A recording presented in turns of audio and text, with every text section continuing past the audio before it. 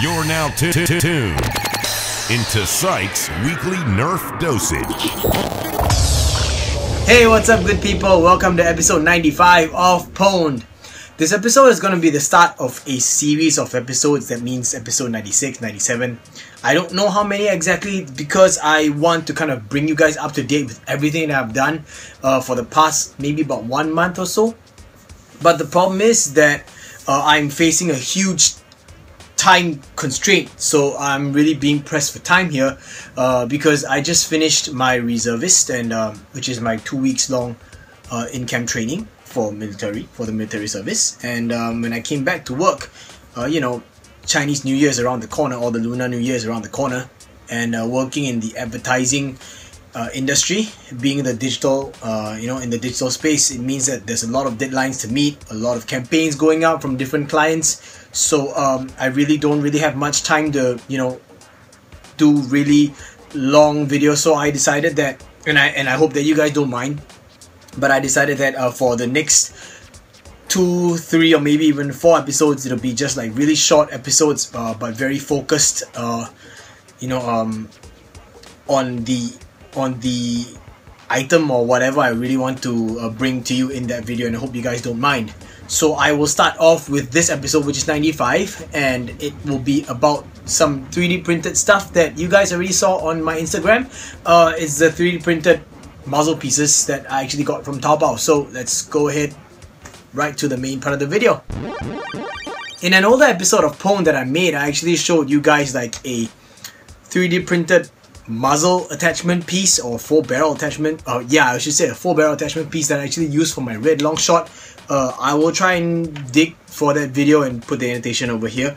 Um, if I can't find it, I'm sorry guys, but uh, yeah, that was my first uh, foray into like muzzle or barrel attachments that I completely 3D printed. So um, the next step was actually these guys that I'm going to show you and I would like to give a big shout out and say a big thank you to DT Dragon Tooth for actually handing me these. So it's really really cool. The first one I'll show you is what I've done for my demolisher which is now looking like this. And this one took a little bit of modifications. As you can see, I've cut this one. This is my standard demolisher.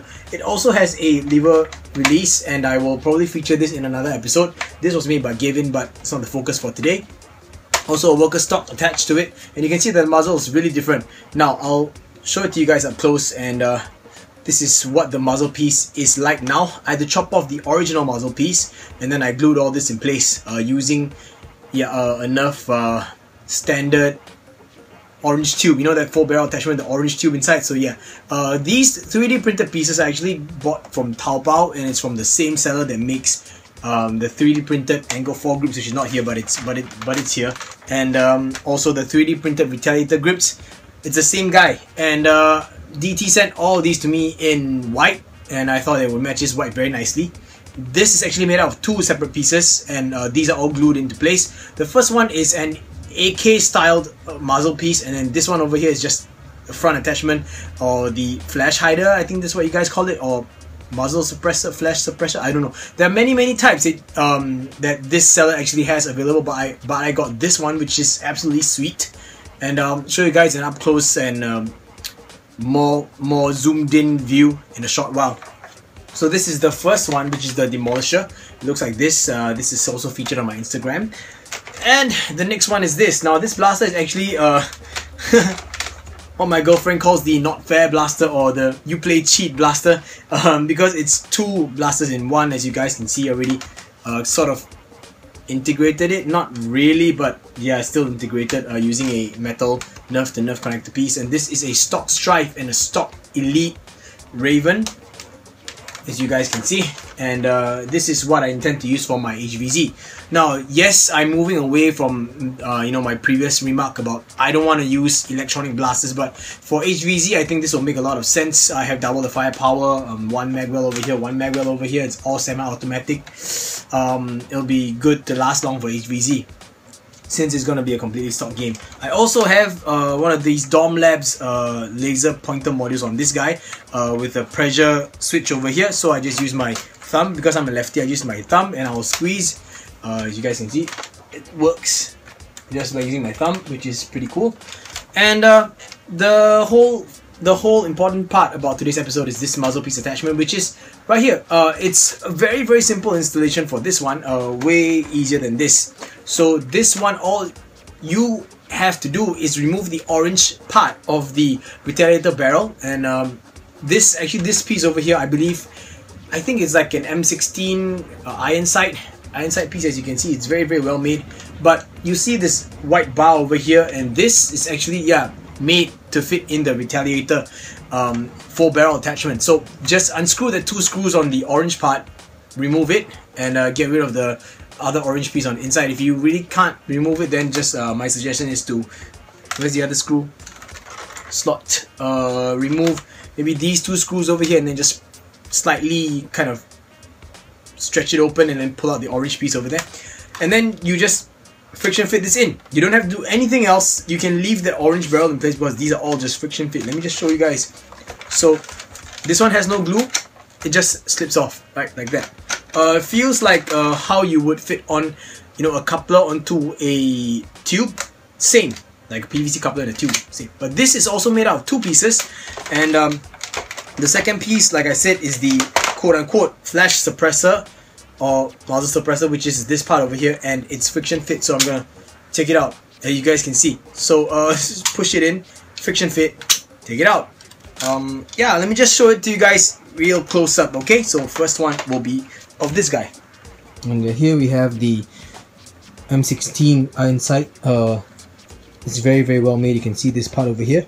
And you can see the actual iron sight that really really looks like a proper um, iron sight with the with those little slots inside where you actually can use to click it left and right to adjust your your um, height of the the uh, aperture, the side aperture itself. And you have this also, uh, which is the flash suppressor or flash hider. And you can see that it's flat on two sides here and here. Really going for the original actual look itself. You can see the bevel edges and the slots and everything. And it's amazing how these are 3d printed but they look so good so uh, as I mentioned these are actually friction fit like that.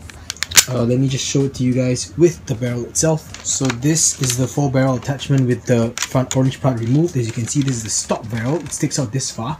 All you gotta do is just grab this guy and this nub slots into this over here perfectly. Just friction fit. Uh, let me line that up correctly. And uh, there, here we go. So as you can see it's perfect. Uh, no no wobble no wiggle whatsoever. And then we're gonna get this guy and just I like to have the two uh, flat sides on the left and right respectively and just push it in. Now, if you guys want you can actually group everything in place but this is what it looks like now. Super sweet on to the next one which is this guy over here which is my demolisher uh, I cannot remove this because I grouped everything in place now, when you open up the demolisher, you'll see that inside of this part over here is another thinner tube, uh, and I actually used that extended piece of a thinner tube. I went all the way out to about here. So from the original resting position, which is about here, where the flywheels are, uh, all the way out till about here. I cannot remember the measurements exactly, but you know, it's meant to fit this. So I went ahead, I actually chopped off um, the original uh, muzzle piece, chopped it off, and then I slid this AK looking uh, front iron sight piece in with the orange part sticking out over here and then this went on to the orange part instead. Uh, if you guys look down the barrel you can see an orange uh, barrel inside and uh, everything was grouped into place. So this is the final product and I made sure that it lined up to the front very nicely. And uh, you can see all the crazy detail in this 3D uh, printed piece. It's it's really nuts. Uh, it's very very very well made. It even has a little rail like piece at the bottom. And I haven't really tried attaching an actual uh, you know Picatinny rail attachment because I don't have anything that's that small. But uh, I believe that it works so yeah uh, very amazing looking muzzle pieces I must say once again, big shout out and thank you to DT for actually handing all these over to me. These are absolutely amazing. I know that a bunch of you uh, have actually asked me about where I can where you can get these and I will do my best to post a link in the video description on, on the actual Taobao link. Now the problem is this seller has this seller sorry this seller has gone on a like a little break off from Taobao because you know it's the Lunar New Year period and uh, Lunar New Year is a really really big thing especially in China and since this seller is based in China he wants to take a break so he can focus on you know family and stuff and of course I'm pretty sure that he's swarmed with a lot of orders because you know the 3D printed grip is a crazy, crazy beautiful piece and it's such an affordable price. Anyone will want to buy it. But uh, I will give you guys the link if I can. If not, I will at least link it to his web store on Taobao.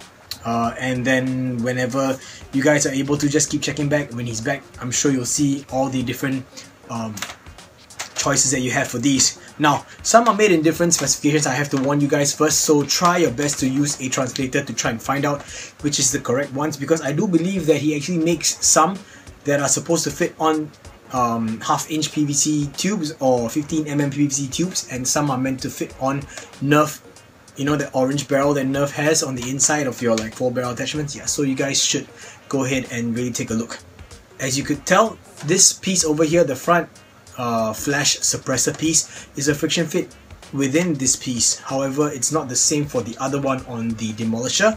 That one is just uh, the suppressor piece itself that goes onto the orange barrel itself. So please note the difference. Uh, I'm not an expert at this. I did not buy it so uh, I cannot give you guys you know the the full advice but this is just a word of warning for you uh, do I think these are sweet? Yes, they are. Do I think these are affordable? Yes, they are. Uh, I think these are like about, I think 10 sing a pop. I think so. I can't really remember, but that should be it. Um, and that's about it for this video. So, uh, yeah. Um, as I mentioned, uh, stay tuned for the next episode, which is coming out really soon. Uh, it's a series of videos, so I hope that you guys don't mind. In the next video, I'll be talking to you guys about Cavin's lever release uh, extension or replacement for a few of the flywheel blasters. So till then, I will see you guys. Drills pay the bills and teamwork makes the dream work. Peace.